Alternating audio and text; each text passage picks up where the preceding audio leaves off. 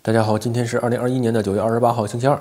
关于这个中国停电啊，现在弄得就得到小小道消息啊，小道消息啊，说这个习近平特别的不高兴啊，非常非常的这个生气啊。他现在基本认定呢，停电是一场呢叫这个电力政变，就像之前这个金融嘛，就是这股票狂跌，说不让跌了还跌，就定义呢是认为是一场呢叫金融政变啊。这这个认为一场呢是电力政变啊。那。基本上，习近平现在就是说下定决心了，要这个横扫东北啊。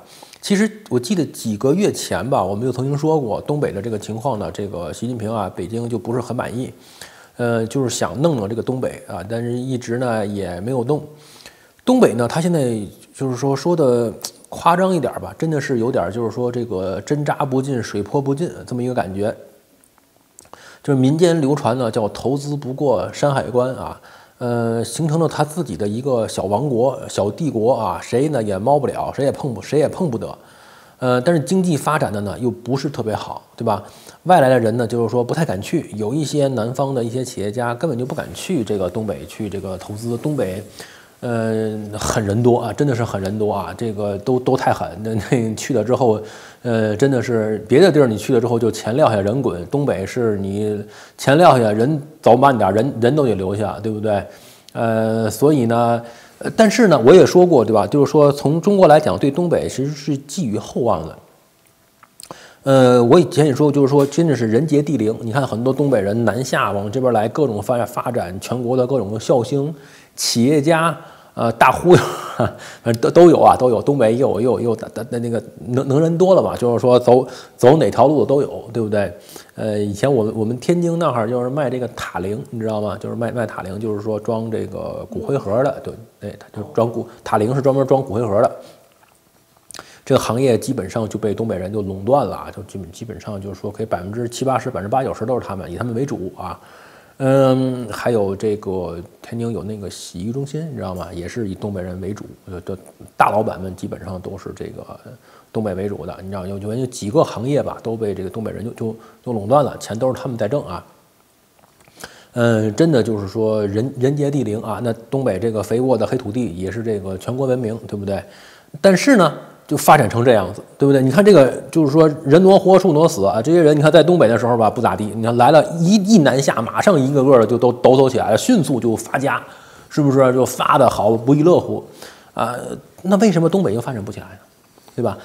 个人认为吧，反正普遍认为吧，还是政策的问题啊。一个是政策，一个呢就是说狠人太多，当地呢就是说呃官府和这种。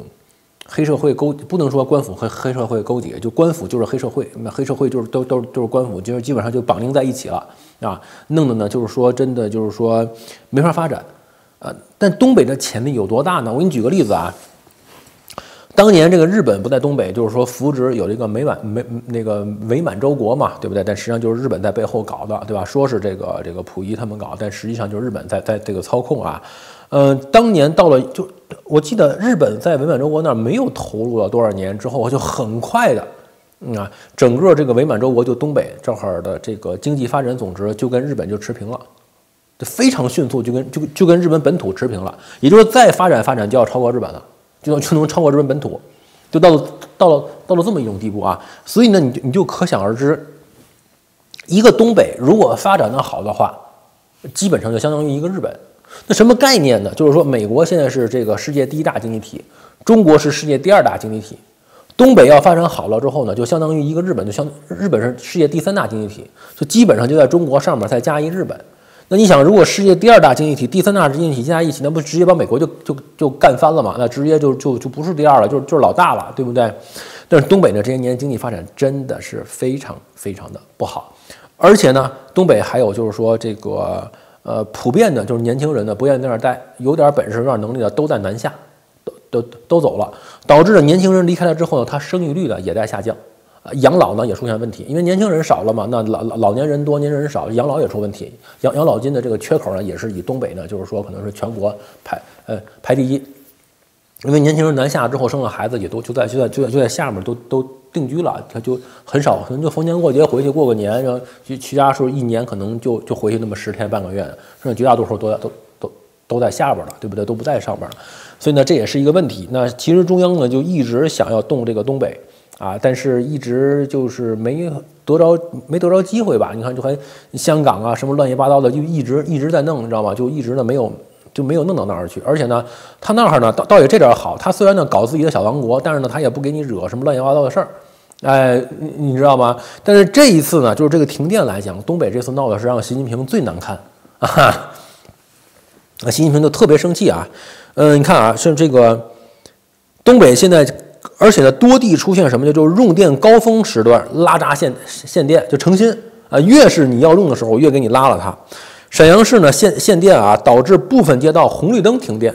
那个红绿灯能他妈用用几度电 给红绿灯停了，导致呢这个交通大拥堵。你说这不是诚心吗？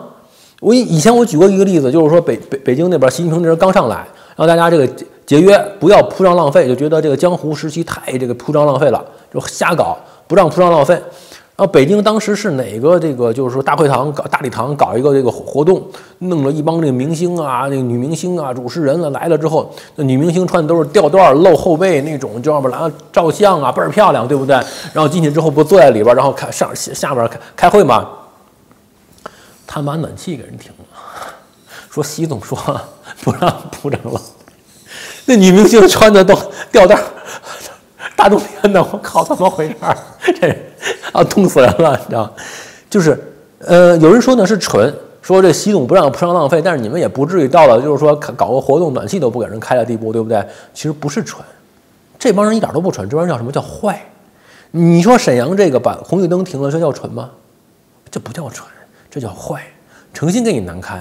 中央让我停的，习近平让停的，不让你们用红绿灯了，你们去骂吧。骂你们骂谁？你们骂不得骂习近平吗？不骂骂北京吗？骂中央吗？哎，就是诚心，知道吧？这不是蠢，这这这就是坏，这就这不叫低级红，这就是高级黑了，你知道吗？这是纯黑。哎，所以呢，但是但是你要明白一点，你不蠢你坏，习近平蠢嘛？习近平看不明白你们什么意思嘛？你们不就是向上不高兴了吗？对不对？让你们这个搞这个就就是节约减排碳中和啊，你们不高兴了，你们干什么？甩脸子给谁看？对不对？就那领导让下面去，怎么回事？没干活，没没弄干净，先把弄干净去。然后下面去拿笤帚，就在那儿来来来回甩那笤帚疙瘩，就他也不说话，那甩甩甩甩甩，在那扬扬扬土，弄那土抱抱扬扬，大家从那过去看，怎么回事？这是干嘛呀？这是对不对？啊，领导让我做卫生啊，领导让我做卫生啊。我说来腿腿腿腿腿腿挪，腿挪挪，挡着了，我我扫地呢，你怎么回事？你知道吗？这什么意思呢？这这领导是傻子吗？对不对？你干嘛呀你？对不对？领对不对？领导有时候多缺心眼儿，看不出来你不高兴了呀？对不对？不就是这么意思吗？九月二十六号啊，吉林省吉林市我们也说了，新北水务发文了，说告诉你们啊，中央给的给给的命令啊，习总给的命令啊，不定期、不定时、无计划、无通知停电啊，我随时停，想什么停什么停，你们自己听明白了啊，不怪我，要怪骂老习习近平啊，而且呢，这情况一直持续到明年三月份啊。而且呢，你们要做好心理准备啊！以后停电停水都是常那个常态啊。我们没有电了，水也水也来不了，所以所以也也没水。你们能不能过是你们的事儿，不行死去。你们要要不你们去北京上访去，去骂去啊！就告你都是习近平搞。人民日报就直接开卷啊！人民日报开骂啊，说啊，各地啊全力优化能耗指标啊，不惜关停生产，甚至影响居民生活用电的一刀切做法啊，跟开学前狂补作业就一个道理，都不要脸啊！今年上半年啊，多地能耗不降反升，九个省区的能耗强度、消费总量均被中国发改委呢给出呢一级的这个警告啊。然后呢，在这个中央的这考核压力之下啊，各地啊又开始啊赶紧的立呢军令状，加速整改。啊，现在转眼呢到了四季度了，全年指标根本达成不了啊。前半年呢就是说瞎惹惹惹惹惹，你知道吧？这个叫什么？白天游四方，晚上遨游补裤裆啊。前三个季度呢惹惹惹惹惹，到了第四个季度了，然后现在开始呢根本完成不了，完成不了怎么办呢？说 说现在一些地方 抱歉啊，呃不相关系。好，不好意思啊，咳嗽一下啊。那于是呢，一些地方呢采取强力手段，定指标、压任务，对产业园区和行业呢强制性的限产停工、拉闸限电啊。那人民日报反正就是就就基本上相当于骂街了啊。那人民日报骂了街之后呢，下面呢开始改口了，改口啊，说吉林省新北水务有限公司又又再发了一个公告，说呢这二十六日的时候啊，当时因为担心可能临时停电导致公司供水区域用户临时停止状况。所以公司呢发布了通知，但是公司呢也意识到了措辞不当、内容不准确，给相关用户和公众造成了误解。我们对此呢深感自责，并将严肃呢对待此事，严格按公司制度处理相关责任人。这是被北京骂了街了，骂了街又整个又又改回来，对不对？好吧。当然了，咱们也不要说光说东北，其他地方也在停，而且听了也都挺难堪的。但是呢还好，就是说没有不像东北似的，就是说这个把红绿灯停了，对不对？其他地方呢？看苹果、特斯拉的关键供应商呢宣布产房停产，说呢这个影响这个苹果手机了。不过呢，我们还好啊。有有网友问了，问这个孙哥，今年这手机那拿了吗？年你你不等着年年换新吗？等着我这个呃开箱了啊。呃，据说已经寄出来了啊，可能这个明后天呢就就就到，好吧？等到了之后呢，给大家录一期这个视频。呃，然后今年呢，苹果的这个就是说这个发布会什么也没有录，因为真的是。呃，毫无兴趣，也没看。而且发布会之后呢，就是看的新闻什么的也少。以前每年还稍微看一看，呃，了解了解。但是呢，嗯，反正就自打年年换新之后吧，就是因为反正也会寄一个新的过来，就就觉得来了之后再说吧，也就没就就没有兴趣。以前呢，会考虑看看看看看一看值不值得换。现在呢是就是说，反正一定是要换的，因为已经就是说加入这个年年换新这个计划，每年肯定换新的，因为不换也不合适。所以呢，也也没仔细看。今年这个呢，就现据我了解，呃，唯一一个让我还有点这个兴趣的，就是它这个蓝色啊，一个浅蓝色。呃，我记得前年的时候出了一个一个绿绿色，是不是啊？我说我拿个绿色，拿完之后我觉得不好看，墨绿色就我就好丑。我说希望明年能出个蓝色的，我我买一个。结果呢，去年呢出了一个蓝色，但是呢是一个那种深蓝色、墨蓝色，我也不喜欢啊，看着跟黑的差不多。就去年呢，我拿的是这个，嗯拿拿的是这个金色的，对不对？当年但是来了之后呢，我觉得。看着反正还行，但是金的以前用用过好久金的了，觉得对金的也没什么兴趣。然后我去年呢，我还是说希望能出个呢浅蓝色啊。结果今年呢，不知道这个库克看来及时收听收看了《死亡记》啊，出了一个浅蓝色。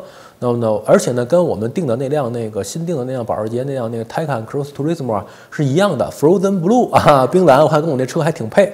呃，可能车是十二月份到，手机九月份先到了，到了，到时候我这车跟手机呢配配一起啊，配配成一对儿。这个，呃，到了之后吧，反正给大家看看。所以今年这个手机唯一一个让我还有一点兴趣的，可能就它那个冰蓝色了。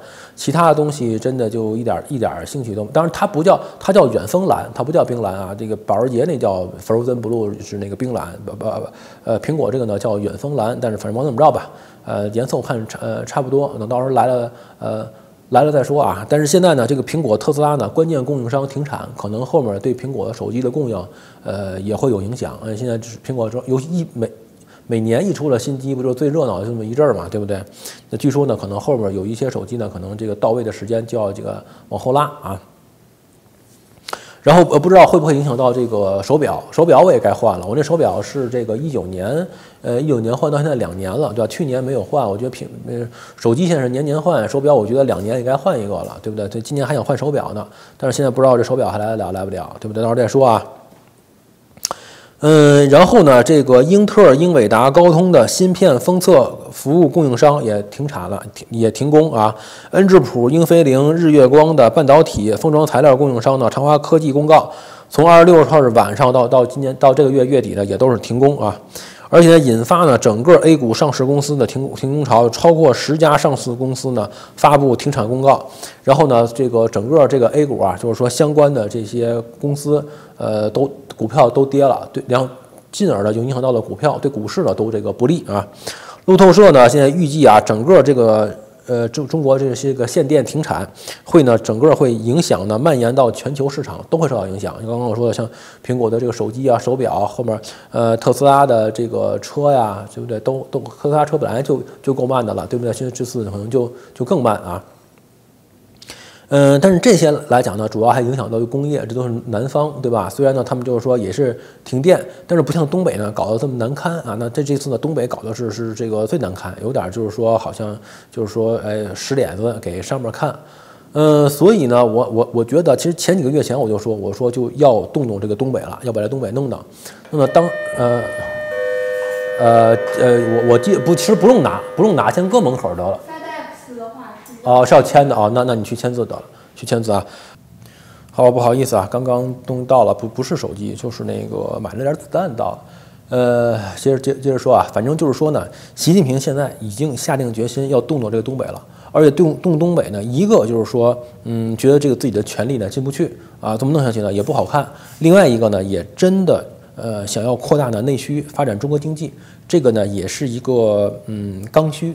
嗯，刚刚我也说了，东北如果发展的好的话，能发展成一个最起码相当于一个日本。啊，呃，有巨大的潜力在里边。那到底怎么动呢？现在就是说，嗯，有各种说法。之前我也说了，就是有一种想法，就是说呢，把东北的这些官员们呢往南边派，让把南边呢换过去，大家互相换。嗯，但是后来看起来就是大面积这么搞也不现实。那另外有一种呢，就是说，嗯，干脆呢就把就中央从南面往里面派人，然后东北当地的一些呢，就是说不说都派走，然后呢把一些就是说关键的几个这种人物调走，比如说。调到有的就是升的吧，如果就是说级别够了的，到北京弄个什么政协副主席啊、人大副主席啊，一哥。然后呢，级别如果不够的呢，就搁到比如南方去，给你搁到海南省去，从东北调到海南省，到海南去当个什么副那个呃海南省省省政协副主席或者省人大什么的，哎，弄给你弄个闲职一搁，不就完了吗？但是关键是什么？就是说呢，一定得把中间的几个关键的人物得得掏走，得掏空，不然的话呢，你再派人进去之后呢？这个工作开展不起来啊，就就是没嗯，因为没有办法，那些地方已经形成了一个自己的一个一个一个壁垒了啊。呃，但是当然了呢，你你也别激动啊，不是说我今天我一说，明天就就要动手了，就跟这个香港一样。香港我二零我二二零一九年我六月份我就说了，对不对？五六月份时候我就说，我说这个郑伯克段医院习近平对香港动手了。但是真正到了最后动手了，你能看出来，能看明白了，基本上是二零二零。二零二零年十月份了，对不对？其实七八月份这个消息就出来了，但十月份基本上算是开开始搞。东北的情况呢也是这样，不是说我今天说了，明天就要就要动手了啊。呃，我预计很有可能要在换届之后啊，换届前呢，他们其实现在敢这么搞，也是在换届之前呢搞一场，就是说类似一个电力政变，给习近平难堪啊，就有点这个意思。那现在是换届之，习近平同志呢还是比较能忍的啊，虽然他已经下定决心了，但是呢先忍一忍。忍一忍呢，咱们再说。等换完届，先呢稳稳当当先换届。换届结束之后啊，当然也有可能在换届的过程当中就要做一些事情啊。但是呢，呃，大面积的，就是说，就是说大面积的动，大面积的把这个，就是说有点相当于，就是说这次不是收复香港嘛，下次要收复东北了。习近平要终于要要要出关了啊，要收复东北。呃，估计要到明年吧，嗯。怎么也得一年，很有可能到明年年底的时候啊，才会就是说大面积的开始有动作，那时候你你你才能看到。那现在来讲呢，这么说，呃，还太还太早，呃，需要一点点时间啊。嗯，然后当然了呢，也要就是说，呃，就是上面有各种的这种小小道消息，然后开始呢为这个习近平这个限电呢，就是说进行辩护，因为地方上呢很明显已经不满了，对吧？地方搞的这些东西啊，那么对他这个辩护呢，我们反正给他说一下，然后你你可以听听，就是说你觉得他有道理就好了没有道理呢？这就是反正他有他的一套说辞，好吧？他的说辞是什么呢？首先来讲啊，说限电政政策呢，主要针对都是外贸企业。啊，还有呢，这个外贸的这种企业呢，产业链儿，他说，他说呢，这么做是一个呢主动性的一个防守的一个策略，是为了保护我们的这种外贸企业呢，还外贸产业链儿做出来的这个限电。说为什么呢？因为现在中国呢高价在进口的煤炭、大宗商品，然后呢以非常低的利率、非常低的利润，甚至呢是零利润啊生产之后，就实际上是加工之后，然后呢再出出口到美国呀或者西方国家。而美国呢，用印出来的这种这种美元，因为美元现在实际上在贬值，美国在玩命的印美元，玩命的往外发。那这个东西呢，实际上呢，美元就是贬值的。这些东西是它不是不算是真金白银了，是你美国凭空捏出来，这钱是你借出来的啊。那这种东西它实际上意义不大，因尤其是当你这么做了之后呢，美元实际上就贬值了。它某种程度上呢，在这个就是说降低这个国债，就是说我不用还你还你，或者说我不用还你那么多国债了。就以前我让你借了十块钱美元，对不对？那时候十块钱美元可能能买，比如说一克黄金嘛。假假设说啊，我也不知道多少钱啊，但是说这意思。现在美元贬值了，我可能就二十二十美元能买一克黄金。那原先呢，我可能跟你买了。给给找你借了十美元，我买了一克黄金。那现在呢，我把这一克黄金卖了之后呢，我只要给你一半，剩下十美元我干捞了。你懂这意思吧？所以呢，美元在贬值。所以在这种情况之下呢，用美国印出来的钱买中国的产品，这样会导致中国呢出现的这种输入性的通货膨胀。就是说，你美国玩命印钱，导致你美国通货膨胀了之后呢，你这个东西在在外延，你通货膨胀再往外输出，弄得我中国跟着你一起呢通货膨胀。跟着你一起呢，我也要这个，就是说在，就是说是你美国做错了，我再替你背锅啊。所以呢，而且呢，实际上呢，大量的利润呢都放在了海运和原材料的成本上面。就是说挣了这个钱之后呢，我也没拿到多少。你就好像造一台手机，苹果拿多少钱的利润，然后最后红海他们可能就拿百分之几，那百分之十都不到。你懂这意思吧？最后我也没挣到什么钱，那钱呢还都是比如，而我还得要去进原材料，原材料挣了很多钱，海运挣运费挣到，现在海运特别贵嘛，对不对？当然，由由于这次的事情导致这个海运的运费到到那个呃运费掉下来了，因为好多工厂都停产了嘛，嗯，停产了之后这个产品也做也做不出来，也没法运，那么这个货柜就多了，然后价格也就降下来了。啊，所以呢，他就说你这么搞的话呢，最后实际上对我来讲，我伤害比我我挣的那点钱不够我弥补伤害的。所以他认为呢，这么搞呢，实际上针对外贸企业呢和产业链做出了一个主动性的一个防守。反正他他认为他是他一种辩护方式啊，你可以去理解。另外呢，而且呢还有另外一点就是说呢，随着后续呢海外供应的恢复，全球的供需缺口呢收窄，就是现在是因为去年的疫情导致现在好像一个急剧的一个膨胀。啊，好像你现在出口特别多，然后接的订单接的就就是都排排满了。他说，但是呢，等到疫情慢慢过去之后，恢复平静了之后呢，你的订单下数量也会下降，你的出口呢也会开始的回落。那么也就是说，如果今年由于你现在工业呢高高高增长，那么导致呢我这个能耗呢都都在提高啊，都都出来了，对不对？但这个东西到明年呢你就不需要了。那我现在这么玩命提高它没有用。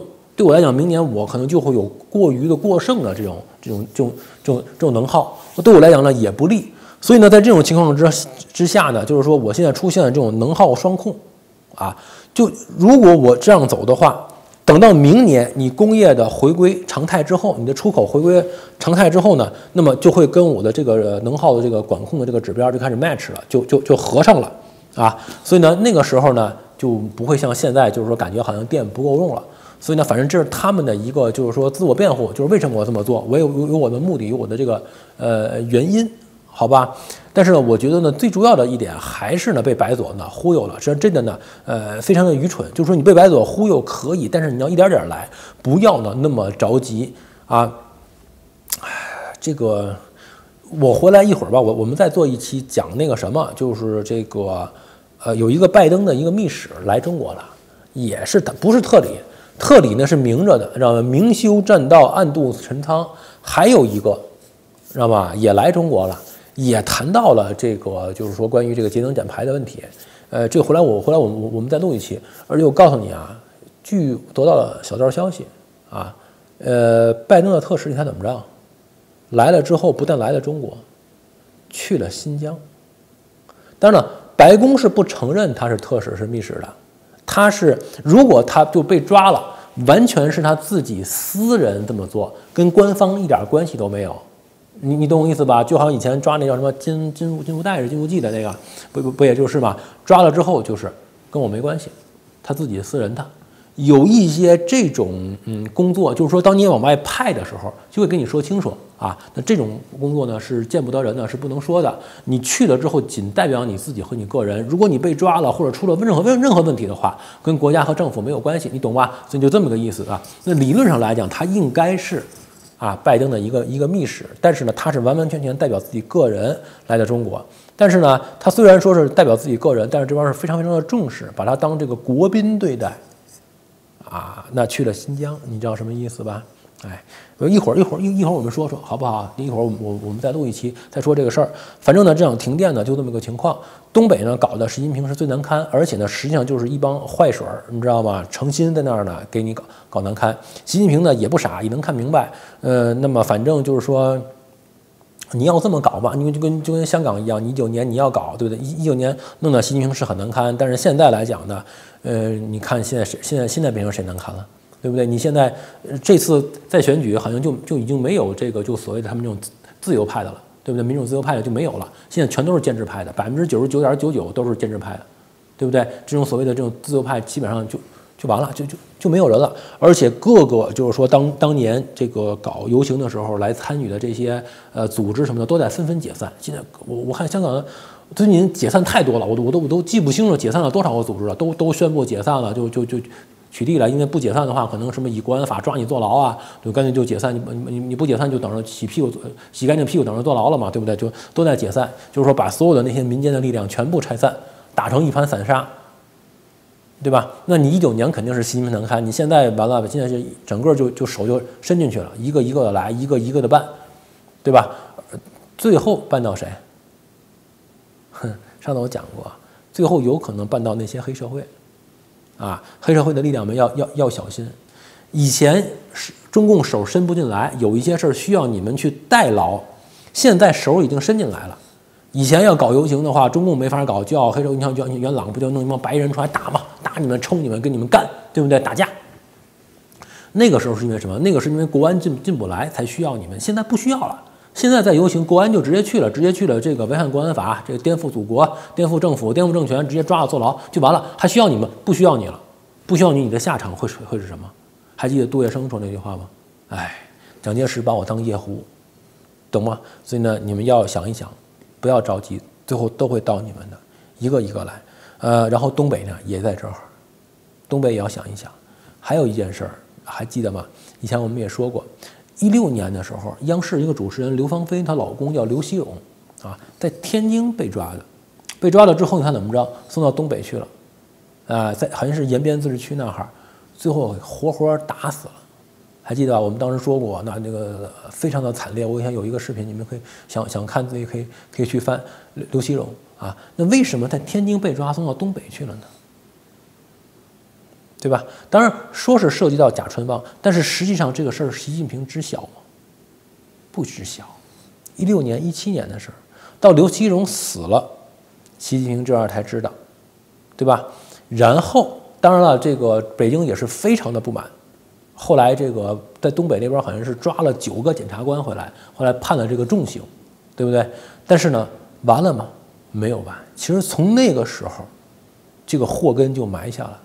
对东北就不满意，就觉得东北没有完完全全在自己的控制之内。香港也是，香港也好，东北也好，还不百分之百控制在习近平的这个范围内。就为什么东北这一次敢，就是说你不让我停电，我他妈把红绿灯给你停了，我水他妈都停了，对吧？说我没电了，发那个那个那个那个水水水泵都都都开不了啊！诚心停水停电停红绿灯啊，还是这个甩脸子给中央看。等等吧，到明年年底的时候，好不好？现现在东北这个时期就相当于二零一九年六月份闹得最厉，香港闹得最厉害的时候。现在没错，是北京难堪，一年半吧，好不好？香港也差不多一年半吧。一年半之后，一年半之后你看看，到底是你东北难堪，还是北京难堪？咱们把话放在这儿。那当然，当然，这个跟我没没有关系啊。那就我们得到这个小道消息，但是呢，这口这口气。老习是先搁在这儿了，搁在这儿，你们你们等着，啊，看看你习大大什么意思，好不好？好吧，那这期呢就到这里吧，谢谢大家。